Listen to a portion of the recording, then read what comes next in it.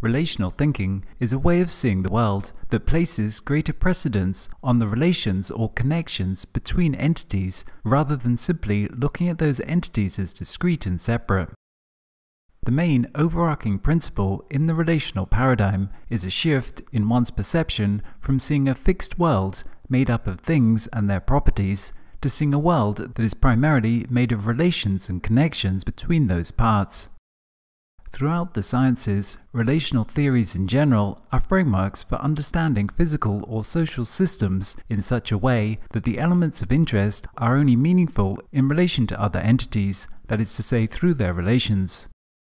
With the rise of network theory and computation, relational approaches have developed in many different areas over the past few decades. There are now relational theories in physics, sociology, psychology, international relations, and many more.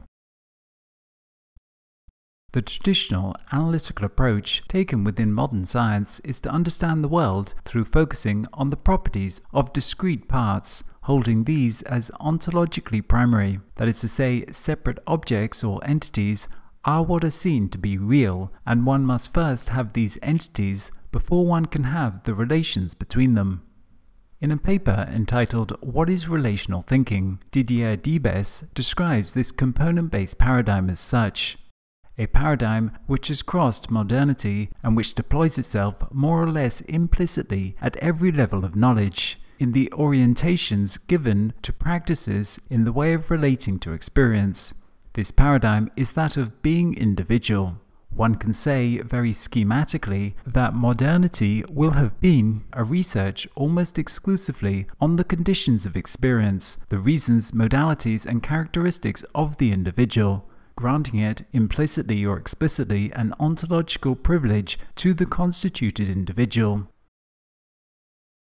Reductionism is an attempt to trace back all phenomena to basic elementary parts and how those parts generate direct cause and effect interactions. A classical example of this is methodological individualism, which is the requirement that causal accounts of social phenomena explain how they result from the motives and actions of individual agents, at least in principle. The analytical reductionist paradigm excludes the idea that relations, how two or more things interact, can actually be the source in itself shaping those elementary parts. The synthetic approach of systems thinking is instead focused on the relations between the parts. It posits that the relations between the elements and whole networks of relations that form the context can and do shape the constituent parts in a two-way reciprocal relationship. Within the system's paradigm, causes are not traced back to the properties of component parts, but instead are seen to derive primarily from the relations between things in particular how whole networks of interconnections that form the context or environment can shape the individual parts by creating the context within which they act or operate. For example, two objects may have a particular color when taken in separation, but when we place them side by side in relation to each other, the initial object's colors may appear different. The properties of the object's colors has not changed, but they appear different because a relation has been added to them, and it is this relation that is affecting the perceived properties of the elements. As another example, one could cite global cities like Singapore or Dubai, which are a product of the context of globalization. They are enabled and defined by global networks of connection, such as air traffic, logistics, and financial networks, these global cities are not entirely created by the local context, but instead are defined largely by the global connections that shape them. One of the most extraordinary examples of this within physics would be what is called quantum entanglement, whereby two subatomic particles interact and become entangled with each other meaning that their spin, position, and other properties become linked or interdependent. If one then makes a measurement of one particle, that then instantly determines the other particle's state. There is no manifest interaction between them. Instead, it is this relationship of entanglement that defines the properties of the parts.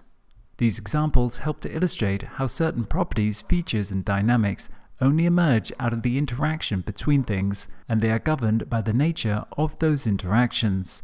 Thus, it is important to use the relational paradigm to understand these phenomena. The systems paradigm argues for a balance between the analytical approach, focused on the parts, and the synthetic approach, focused on relations. An overemphasis on the parts can lead to a narrow process of reasoning that creates its own limitations. For example, by focusing on the individual parts of society, we derive the conception of the rational individual, that is to say, the individual that is driven solely or primarily by their own internal logic. This conception of the rational agent then leads to defining any human action that is not logically reasoned through by the individual as irrational or unexplainable, which turns out to be a large section of human behavior. Most humans do not rationally and logically reason through what they choose to do or believe. Instead, they act based on the context and their connections with others. People adopt a particular belief or opinion because it fits in with their culture. That is to say, their connections with others that form their sociocultural context. These choices are not derived from the individual making a logical decision, but instead from the nexus of connections around them. Thus, simply trying to understand human behavior as a function of the internally generated motives of the individual is a very much limited enterprise. Likewise, trying to describe all phenomena in terms of the connections and context results in an equally limited perception. To gain a complete understanding of some phenomena, it is required that a relational paradigm is used to complement and balance this perspective. The relational paradigm leads to an inversion of our traditional conception where discrete entities exist within an inert space with those component parts creating the actions, interactions, and relations. From the relational perspective, relations are what define how entities act and react.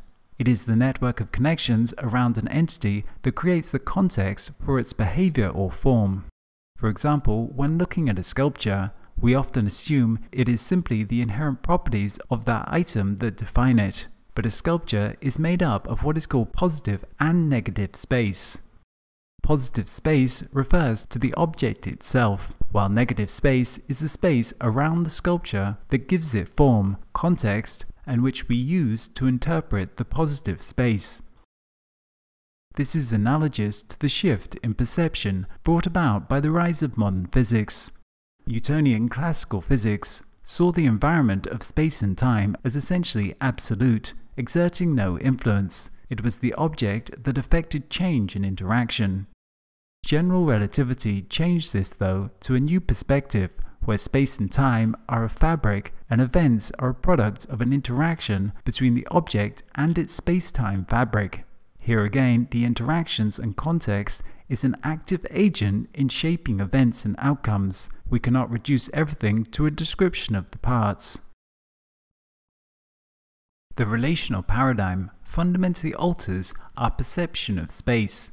The traditional component-based conception of space is relative to objects and their physical extension, which creates a three-dimensional Euclidean space. One that is absolute in that it just exists and is not affected by the changes in components or connections. The relational paradigm, though, alters this perception of space in that relations are defined by exchanges of some kind. Along every connection, something is transferred information, money, heat, light, trust, etc. How close things are to each other is relative to how easily something can be exchanged through the connection the easier it is to exchange something between two elements the closer they are. And thus, within this relational paradigm, there is no absolute space, but instead, distance is defined by connections and the ease of transfer along those connections.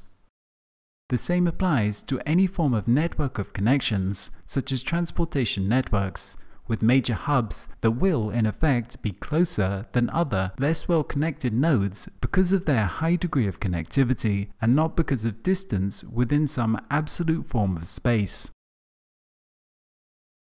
The relational paradigm has found application in many areas of science and will briefly highlight some of its main applications.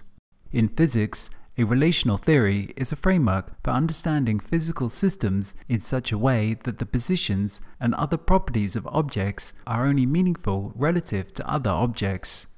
In a relational space-time theory, space does not exist unless there are objects in it, nor does time exist without events. Space can be defined through the relations among the objects that it contains and considering their variations through time.